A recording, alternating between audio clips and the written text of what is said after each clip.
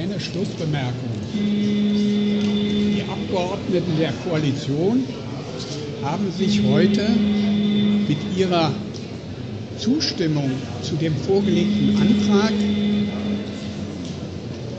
der Bundesregierung, dem Kanzleramt unterworfen, sind faktisch die Erfüllungsgehilfen des Bundeskanzleramts. Das ist Abgeordnete des Deutschen Bundestages nicht würdig. Sie haben Rechte, die das Parlament erkämpft hat, aufgegeben heute. Das wird Folgen haben. Weder die Bundesregierung noch die Abgeordneten der Koalition konnten uns konkrete Bestimmungen aus Verträgen oder Vereinbarungen benennen, die die Bundesregierung tatsächlich daran hindert, den Abgeordneten des Untersuchungsausschusses die Selektorenlisten zur Verfügung zu stellen. Wir haben mehrfach nachgefragt. Die Bundesregierung sagt keine konkreten Bestimmungen, weil es solche nicht gibt. Aber das Argument zu sagen, es ist ein erster Schritt, wir behalten jetzt alles weitere vor,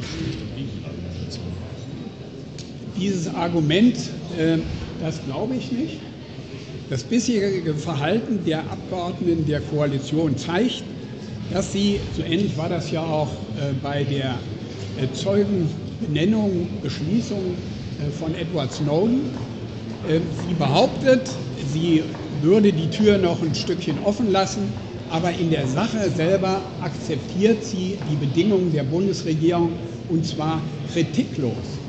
Ich habe heute kein einziges kritisches Wort an der Entscheidung der, des Kanzleramtes gehört.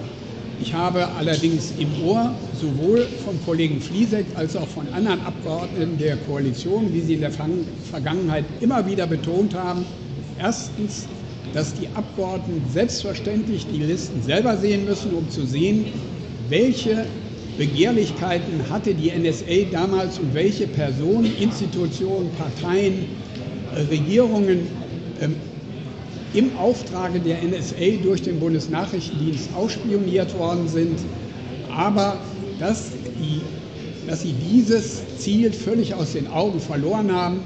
Wir haben ganz klar die Antwort bekommen, diesen V-Person setzt die Bundesregierung ein, sie bestimmt den Vertrag, sie bezahlt. Und sie muss dieser Person letztlich eine Aussagegenehmigung erteilen, wie das bei den bisherigen Zeugen auch der Fall gewesen ist, sodass sie in jedem Satz, wie wir das ja häufig erleben, einschreiten kann und sagen, darüber darfst du oder dürfen Sie jetzt nicht sagen. Fragen nach Einzelheiten dürfen Sie nicht beantworten.